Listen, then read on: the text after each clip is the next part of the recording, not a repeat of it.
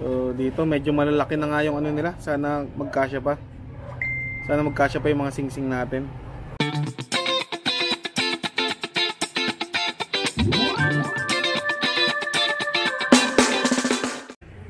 Good day mga kalapatol. Ngayon pag-uusapan natin ang singsing ng kalapate. Paano magsingsing ng kalapate? Paano magsuot ng singsing sa inakay? At ilang araw bago sila singsingan kasi saktong-sakto. Masisingsingan na natin yung mga inakay ni Popoy at Basha. Kaya panoodin nyo to. Let's go. Ito pala yung mga ano, mga inakay ni Popoy at Basha. Sakto, ano na yan. 7 days na sila. So, sisingsingan na natin sila. Kasi baka ano eh, baka lumaki na masyado yung paa. So, yung ano, yung ideal is uh, 5 to 7 days. Kasya pa yung ano. Okay pa yung ano nila. Medyo matapang si Popoy ah. Pero mga anak mo, sisingsingan natin. Ayan. Kunin lang natin anak nila. So, ideal is 5 to 7 days. So, ayan yung mga anak nila medyo malalaki na sana magkasya pa yung ano mga singsing so yung singsing na gagamitin natin is ano lang ano lang tag nito ito lang. Ito yung mga singsing na gagamitin natin no ito compring lang siya kasi hindi tayo nakabili sa ano ng hindi tayo nakaabot sa club ring ng MMFC saka dalawang perso perso ring natin.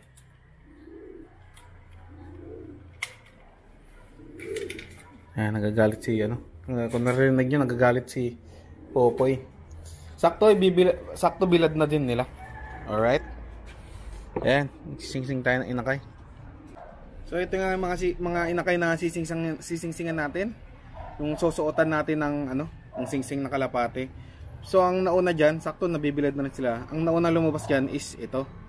Itong black. Ito ano to. Uh, checkered na naman to. Saka ito yung sumunod, yung pangalawa.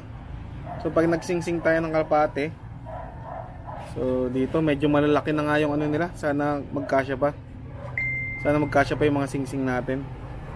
So pag naglagay ako ng singsing ng kalapate, hindi ano, hindi hindi hindi nakatayo kasi pag basahin natin yan, ganyan. Pag kasi usually, pag nagbabasa tayo ng ano ng ano, ng singsing ng kalapate, uh, ganyan yung ano, ganyan, ganyan yung paa, kung nakikita nyo.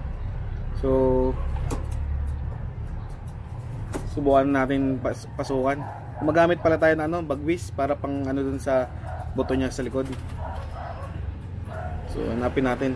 Magkasunod to, 97 9739 saka 9740 lagay natin yung mas mababang bilang dun sa ano sa sa nauna ayan pasok nyo ulang unang ano ayan o healthy sila oh. laki ng mga paa pasok natin medyo masikip na nga ayan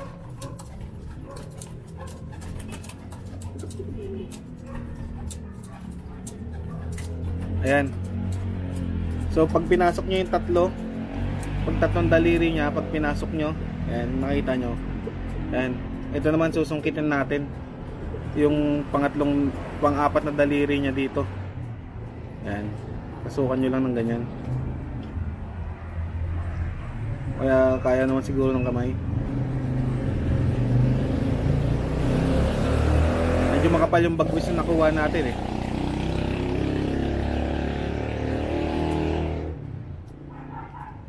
Sasaktan siya. Wait lang. And kumuha tayo ng tingting kasi kanina sasaktan siya dun sa may bagwis. Lagyan na natin sila. Ayan.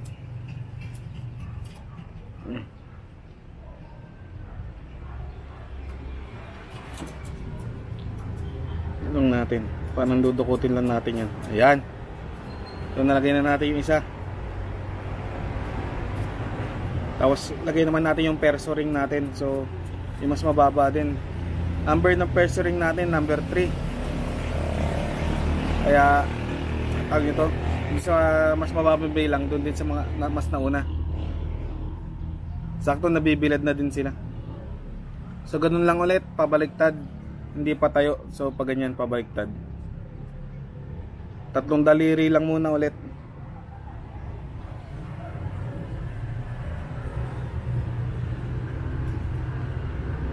Medyo makulit.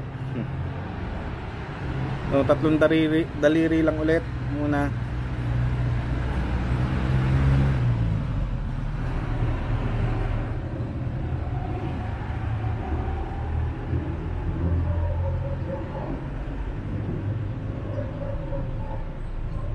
Ayan, kita nyo ba? So tatlong daliri muna. Tapos pasok nyo lang ganun. Tapos pag naisagad ng ganyan, makita nyo yung yung daliri niya sa dulo. Yun yung susungkitin natin. Para iayos. Pag nasungkit nyo ng ganyan, ganun nyo lang. Tagilid. Ayan, nakita nyo ba?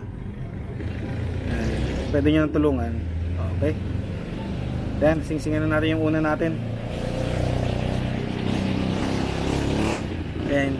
Yan, nasuotan na natin ng singsing yung ano, isang inakay natin. So yung isa naman. Ito naman. Ito ito yung ano, ito yung pangalawang egg na nag-hatch. Siguro mas ano to, mas maliit yung ka, ka, ano, paa. So lagyan na natin siya. Ay, ganun ulit, pabaliktad.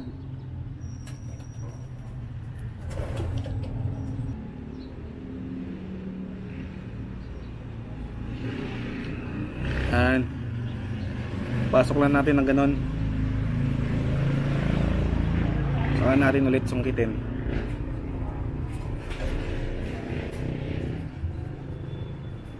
May, hindi na mahirap na ano to, mahirap na matanggal.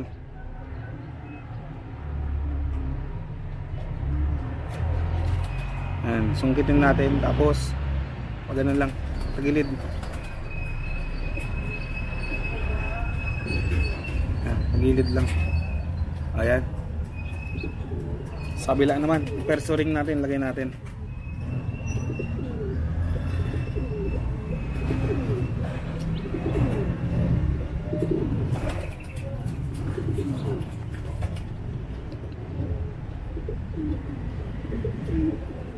Ayan, ito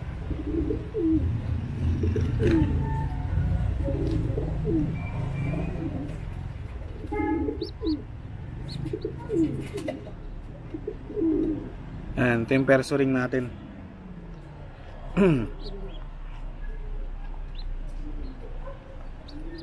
Yan yung pantusok natin. Ayan. Para matulungan sila. Pag ganitong edad, siguro mga 15 minutes na natin sila sa labas kasi nagwawala yung mga magulang nila. Sakto na rin yung pagsisingsing natin, saktong bilad na rin din nila. Ayan. Susungkutin niyo yung patagilid. No. Ganun lang. So yan mga guys. Mga tol pala. Ayan mga tol. Ganyan yung ano. Ganyan natin singsingan yung mga inakay natin. Pag singsing natin sa kalapate.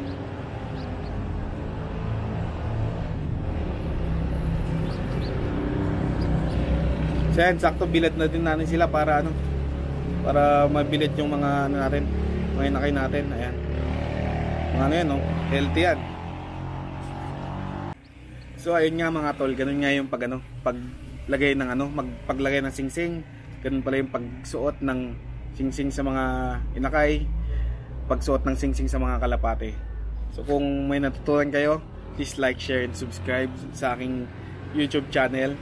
Ito si Pepe, ang yung tol sa pagkakalapate. Goodbye.